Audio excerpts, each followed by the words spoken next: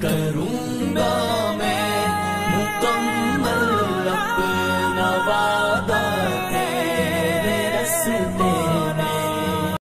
دھیرے دھیرے ایسے حالات پیدا ہوئے کہ ادھر پچھلے چند سالوں میں کہ جماعت کے لوگوں میں دوریاں پیدا ہونے لگیں، دلوں میں کینے پیدا ہونے لگے، ایک دوسرے کے مخالف جذبات بھڑکنے لگے اور رائے کا اختلاف ناقابل برداشت ہونے لگا، جس کے نتیجے میں جماعت کے دو ٹکڑے ہو گئے۔ ایک وہ ٹکڑا جس کا مرکز نظام الدین سے تعلق ہے، ایک وہ ٹکڑا جس کو شورائی جماعت کہا جاتا ہے کہ ان کا اصرار یہ رہا کہ شورا ہونا چاہیے۔ بہرحال یہ واقعہ پیش آیا اور ضرورت ہر وقت ہے اور اللہ کا یہی حکم ہے اور نبی کا یہی حکم ہے کہ یہ یہ فرقے واریت ختم ہو، یہ ٹکڑے نہ رہیں اور سب وَاعْتَصِمُوا بِحَبْلِ اللَّهِ جَمِيعًا ذات بن جائیں۔ آج اس صورتحال میں جب کورونا وائرس نے پوری دنیا کو ہلا کے رکھ دیا ہے، ایک عذاب الہی ہے جس نے دہلا کے رکھ دیا ہے اور کتنی اموات ہو رہی ہیں۔ اس موقع پر بھی کیا دونوں جماعتوں میں اتحاد نہیں ہوگا؟ کیا مصیبتوں میں جب دشمن دشمن سے مل رہا ہے اور جب پارٹیوں کے اختلافات رک گئے ہیں، دنیا کی بڑی طاقتوں کے اختلافات ختم ہو گئے ہیں، چین اور امریکہ ایک دوسرے کے قریب آ رہے ہیں اور ایک دوسرے کی مدد چاہ رہے ہیں، جب یہ صورتحال ہو تو کیا یہ دو جماعتیں آپس میں جڑیں گی نہیں؟ یہ اپنی خانہ جنگی قائم رکھیں گی؟ کیسی عجیب بات ہے کہ ایسی ایسی صورتحال میں جب مرکز نہیں، تبلیغی جماعت نشانے پر ہے اور اس کے ذریعے سے اسلام نشانے پر ہے، مسلمان نشانے پر ہے۔ آج جو بات کہی جا رہی ہے، خاص طور پر چینلز پہ کہی جا رہی ہے، اخبارات میں کہی جا رہی ہے، اس سے جو نقصان پہنچ رہا ہے، وہ پوری ملت کو نقصان پہنچ رہا ہے۔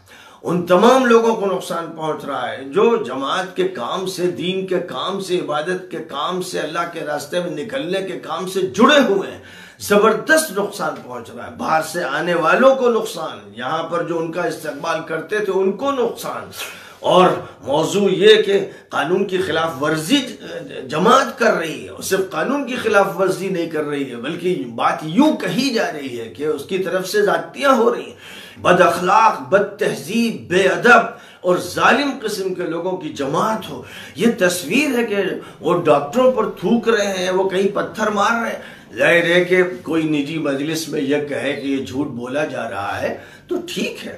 یہ یہ بات کہی جا سکتی ہے۔ اس میں مبالغہ آرائی بھی ہے اور جھوٹ بھی ہے اور ایک خاص ٹارگیٹنگ بھی ہے، یہ سب صحیح۔ کوئی اگر یہ آپس میں کہہ کر اپنے کو خوش کر لے تو وہ خوش ہو سکتا ہے۔ طفل تسلیوں میں لوگ مبتلا ہوتے ہیں اور جو لوگ شورا سے تعلق رکھتے ہیں، جو کٹ گئے، الگ ہو گئے، مرکز سے جدا ہو گئے یا مرکز سے انہیں جدا کر دیا گیا، وہ تماشا دیکھتے رہے، تماش بین بنے کہ مصیبت جو آئی ہے وہ مولانا ساتھ پر آئی ہے، وہ کرنٹائن میں ہیں یا لوگوں سے فرار اختیار کیے ہوئے ہیں، ان کو بھگوڑا کہا جا رہا ہے، ان کو ذاتی کرنے والا کہا جا رہا ہے، سارے اعتراضات کی بوچھار ان پر ہے، تو اگر دوسرے لوگ اس لیے خاموش بیٹھے ہیں کہ جو ان کے مخالف تھے اور جنہوں نے ان پر گویا کہ ان کے نقطہ نظر سے ذاتی کی، اب ان پر مصیبت آئی ہے۔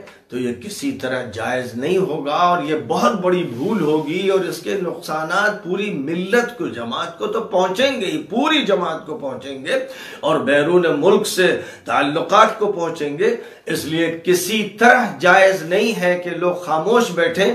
اس لیے میری درخواست ہے مولانا احمد لاٹ صاحب سے، میری درخواست ہے مولانا ابراہیم صاحب سے، میری درخواست ہے ان تمام لوگوں سے جو گجرات میں ہیں، کرناٹک میں ہیں۔ جناب فاروق صاحب اور وغیرہ وغیرہ۔ اس وقت ان کو چاہیے کہ مولانا سعد سے اختلافات ختم کریں۔ مولانا سعد کو چاہیے کہ ان سے اختلافات ختم کریں۔ سب مل کر متحد ہو کر جماعت کو، اسلام کو، دین کو، ملت کو بچانے کے لیے کاندھے سے کاندھا ملا لیں، دل سے دل ملا لیں، دماغ سے دماغ ملا لیں۔ اور وہ سب حضرات یہ سمجھیں، مرکز ہمارا ہے۔ یہ نہیں کہ صرف فیض الہی مسجد ہمارے لیے ہے۔ اس بات کو بھول جائیں۔ اور جناب معاویہ کی طرح وہ کہیں وہ کہیں جیسے انہوں نے کہا تھا وہ رومی کتے، تو میرا یہ کہنا ہے کہ کہیں، مولانا احمد لاٹ بھی کہیں اور مولانا ابراہیم اور ان کے دیگر ساتھی کہیں کہ وہ میڈیا کے کتوں، یاد رکھو کہ اگر تم نے ہماری صفوں کو توڑنا چاہا، ہمیں بدنام کرنا چاہا۔ تم نے تم نے اگر چاہا کہ تم ہمیں ذلیل کر دو اور تم ملک میں خانہ جنگی کی کیفیت پیدا کرو، تو یاد رکھنا کہ ہم سیسا پلائی ہوئی دیوار ہیں۔ ہماری صفوں میں کوئی دراڑ نہیں ہے۔ ہم سب ایک ہیں، یک جان، دو قالب ہیں۔ یہ بات اس وقت پوری قوت کے ساتھ سامنے آنی چاہیے۔ میں آجزانہ درخواست کر رہا ہوں۔ میں ملتمسانہ طور پر عرض کر رہا ہوں۔ بار بار میں دوہرا چکا ہوں۔ میں، مجھے ڈر ہے کہ خدا نہ خواستہ اگر یہ موقف اختیار نہ کیا گیا اور اگر ہمارے وہ بزرگ پھر مرکز واپس نہ آئے، اگر خدا نہ خواستہ مولانا صاحب پر ایسے چارجز لگا دیے گئے کہ ان کے لیے کام کرنے میں کچھ دشواریاں ہوئیں، تو مرکز سب کا ہے، پوری ملت کا ہے، تمام مسلمانوں کا ہے۔ اس لیے میں یہ کہوں گا، مولانا احمد لاٹ سے، مولانا ابراہیم سے کہ آپ بھاگتے ہوئے مرکز آئیے۔ ابھی ظاہر ہے لاک ڈاؤن ہے، لیکن لاک ڈاؤن ختم ہوگا۔ آپ مرکز آئیے، مرکز کو سنبھالیے، اس لیے نہیں کہ آپ غالب آ گئے ہیں۔ بلکہ اس لیے کہ مولانا ساتھ کو اس کی ضرورت ہے، علماء کو ضرورت ہے، ملت کو ضرورت ہے۔ اور آپ کام کو سنبھالیے اور ساتھ ساتھ یہ کہیے کہ جہاں پر ضرورت تھی طبی ہدایات پر عمل کی، حکومتی ہدایات پر عمل کی تو ہم نے وہ عمل کیا۔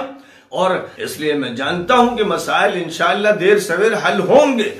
اور جو جو جھوٹے مفتری، جو مکر و فریب کے بنے ہوئے لوگ اپنی گندی زبانوں سے اس وقت حق کے خلاف، دین کے خلاف، ملت کے خلاف بات کر رہے ہیں۔ فلاں نے یہ کیا میرا یہ کہنا ہے کہ جس نے تھوکا کسی کے اوپر، اس کو سب کے سامنے لایا جائے۔